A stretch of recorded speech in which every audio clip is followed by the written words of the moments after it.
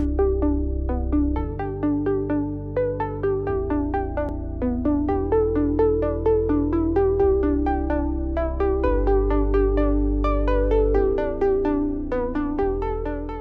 what is up guys welcome back to incredible tech तो अगर आपको अभी तक ये नहीं पता कि एंड्रॉयड पी में कौन से कौन से नए फीचर्स मिलते हैं तो आप बिल्कुल सही जगह पे हो। आराम से बैठ के वीडियो देखो। इस वीडियो में हम आज एंड्रॉयड पी के सारे कूल न्यू फीचर्स देखेंगे। और इन केस अगर आप इस चैनल पर नए हैं तो सब्सक्राइब कर लो और उस बेल आइकन को भी इनेबल कर देना ताकि आपको हमारे नए वीडियोज़ के नोटिफिकेशन आ सके। तो चलिए, बहुत बात कर लिया। आप वीडियो स्टार्ट करते हैं।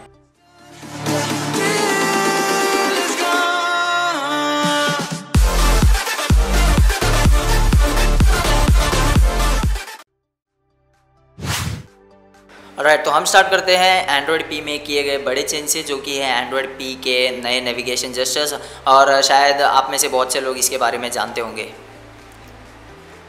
आपको मिलेगा होम बटन पूरे बॉटम में और होम बटन के लेफ़्ट साइड पर होगा आपका बैक बटन जो तब तक शो नहीं करेगा जब तक आप अपने होम स्क्रीन पर रहोगे और वैसे भी होम स्क्रीन से और ज़्यादा बैक आप कहाँ पे जाओगे। तो जैसे आप कुछ एक्टिविटी करना स्टार्ट करोगे, आपका बैक बटन अपने जगह पर आ जाएगा।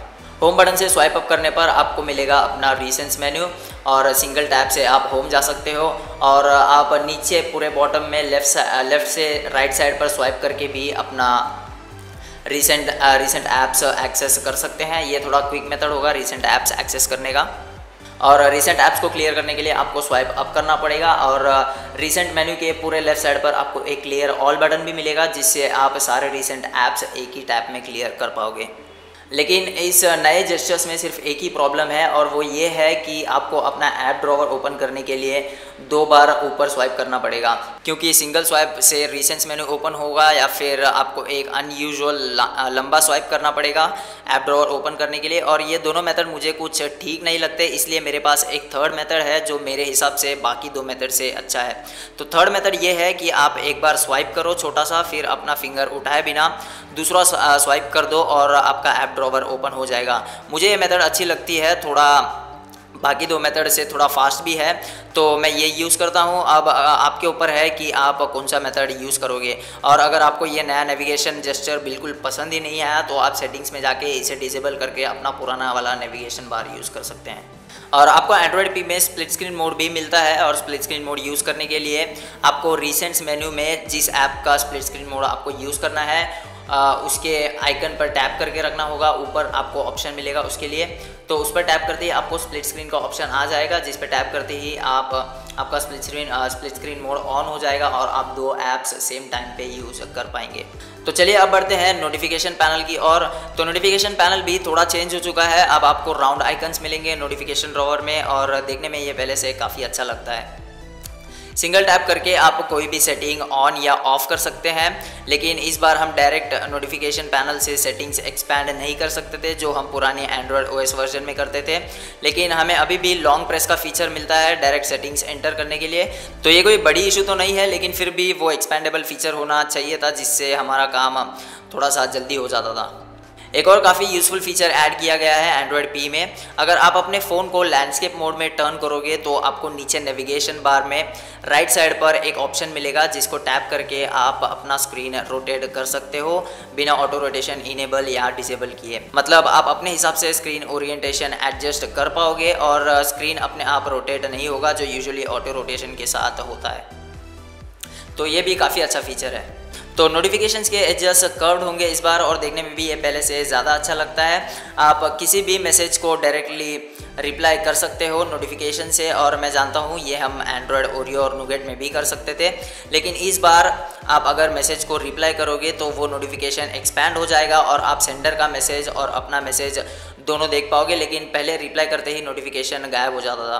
तो ये भी एक यूज़फुल फीचर है, क्योंकि हमें मालूम पड़ जाएगा कि हमने क्या रिप्लाई किया है। और जब पहले नोटिफिकेशन गायब हो जाता था तो हमारा अगर उसमें टाइपिंग मिस्टेक भी हुआ होता तो हमें नहीं पता चलता था। तो ये भी एक काफ़ी अच्छा फीचर है।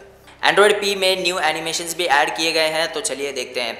अगर आप होम स्क्रीन पर पेज स्वाइप करोगे तो आपको कूल वॉलपेपर मूविंग एनिमेशन देखने मिलेगा और ये एनिमेशन स्क्रीन अनलॉक करने के टाइम भी देखने मिलेगा। तो देखने में तो ये काफ़ी अच्छा लगता है और मैं ये नहीं जानता कि ये डिवाइस के परफॉर्मेंस और बैटरी लाइफ को अफेक्ट करेगा या नहीं।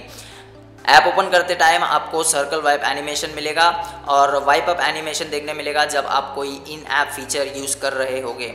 और ये वाइप अप एनिमेशन सिर्फ़ थोड़े बहुत ऐप्स में ही काम करेगा क्योंकि बहुत सारे ऐप्स का अपना खुद का एनिमेशन होता है। एंड्रॉयड पी में आपको नया स्क्रीनशॉट एडिटिंग टूल भी मिलता है। तो अगर आप कोई स्क्रीनशॉट लेते हैं तो आपको स्टेटस बार में एडिट का ऑप्शन मिल जाएगा, जिस पे टैप करते ही आपका स्क्रीनशॉट एडिटर ओपन हो जाएगा। इसमें आपको ज़्यादा फीचर्स तो नहीं मिलते, आप सिर्फ़ अपना इमेज क्रॉप कर सकते हो और डिफरेंट कलर्स यूज़ करके अपने इमेज पर कुछ ड्रॉ कर सकते हो, बस। तो अब बढ़ते हैं अगले फीचर की ओर। तो टाइपिंग करते समय अगर आप वर्ड्स के बीच स्क्रॉल करोगे तो आपको एक तरह का जूम इफ़ेक्ट मिलेगा जिसमें टेक्स्ट जूम करके दिखाया जाएगा, जिसे आप अपने कर्सर को ज़्यादा आसानी से जिधर प्लेस करना है, वहाँ प्लेस कर सकते हैं, बिना किसी परेशानी के। तो अब बात करते हैं एंड्रॉयड पी के वॉल्यूम स्लाइडर की। तो हम सब जानते हैं एंड्रॉयड पी में वॉल्यूम स्लाइडर स्क्रीन के राइट सेंटर पर शिफ्ट हो चुका है। और ये volume slider by default media volume control करता है और आप अपने रिंगर मोड को फुल वॉल्यूम वाइब्रेट मोड या फिर साइलेंट मोड में चेंज कर सकते हो। इसके लिए आपको ऊपर एक बटन मिल जाएगा।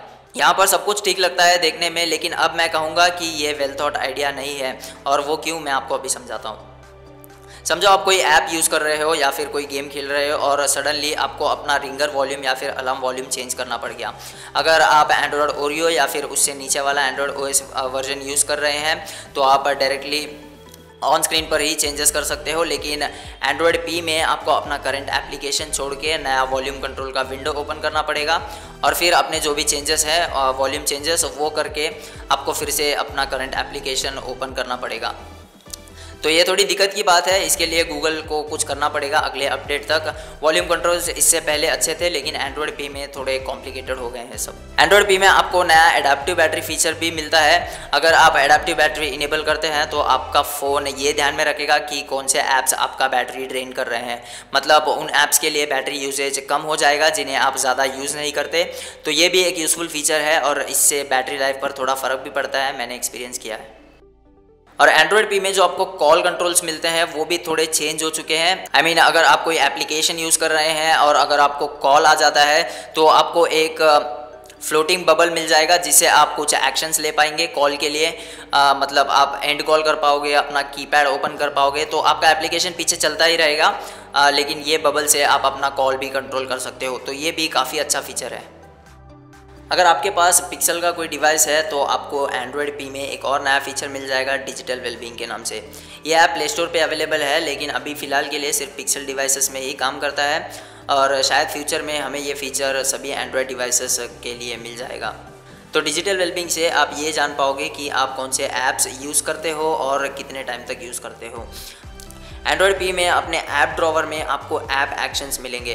तो ये एक्शंस कुछ भी हो सकते हैं, जैसे कि किसी का कॉन्टैक्ट नंबर जिसे आप बहुत ज़्यादा बात करते हो, या फिर किसी का व्हाट्सएप चैट या फिर कोई इंपॉर्टेंट एक्शन जो आपको लेना चाहिए अपने डिवाइस के रिगार्डिंग तो अभी फ़िलहाल मेरे में ये नेफेक और आफान दिखा रहा है, और मैं इन्हीं लोगों से ज़्यादा कांटेक्ट में रहता हूँ। तो एंड्रॉयड पी आपको बेस्ट एक्शंस रिकमेंड करेगा यहाँ ऐप ड्रॉवर में।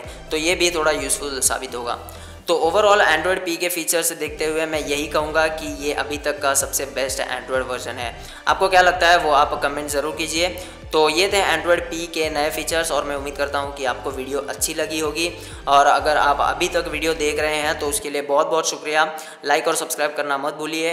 हम अगली बार फिर मिलेंगे। You guys have a great day